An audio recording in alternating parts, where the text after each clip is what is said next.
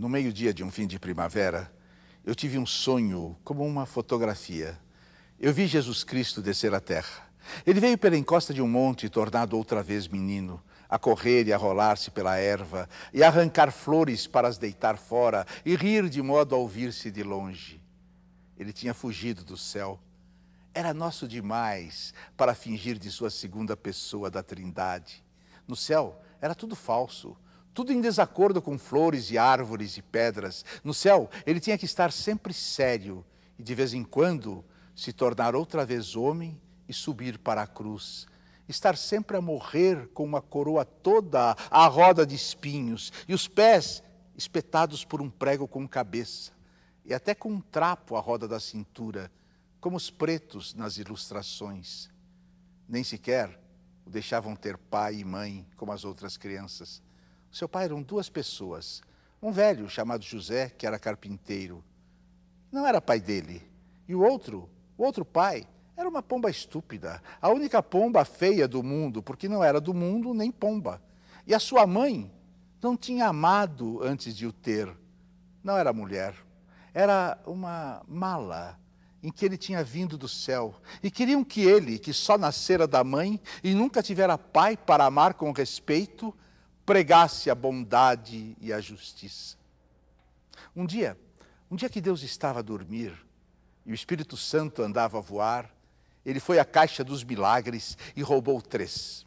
Com o primeiro, fez que ninguém soubesse que ele tinha fugido. Com o segundo, criou-se eternamente humano e menino. Com o terceiro, criou um Cristo eternamente na cruz e deixou pregado na cruz que é no céu e serve de modelo às outras. Depois, fugiu para o sol e desceu pelo primeiro raio que apanhou.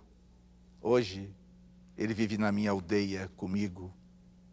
É uma criança bonita, de riso natural. Ele limpa o nariz no braço direito. Ele chapinha as poças de água. Ele colhe as flores, gosta delas, esquece-as.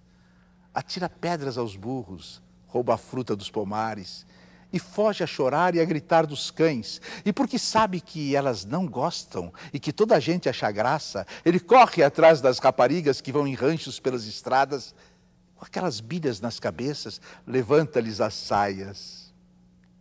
A mim, ensinou-me tudo. Ensinou-me a olhar para as coisas. Aponta-me todas as coisas que há nas flores. Mostra-me como as pedras são engraçadas quando a gente tem na mão e olha devagar para elas. Depois, cansado, o menino Jesus adormece nos meus braços. Eu levo ao colo para casa. Ele mora comigo na minha casa, a meio do outeiro. Ele é a eterna criança, o Deus que faltava. Ele é o humano que é natural. Ele é o divino que sorri e que brinca. E por isso é que eu sei com toda certeza que ele é o menino Jesus verdadeiro. Damos-nos tão bem um com o outro na companhia de tudo que nunca pensamos um no outro, mas vivemos juntos, os dois, com um acordo íntimo, como a mão direita e a esquerda. Depois, depois eu conto-lhe histórias das coisas só dos homens, e ele sorri, porque tudo é incrível ele ri dos reis e dos que não são reis, e tem pena de ouvir falar das guerras, dos comércios, da violência, dos navios que ficam fumo no ar, dos altos mares.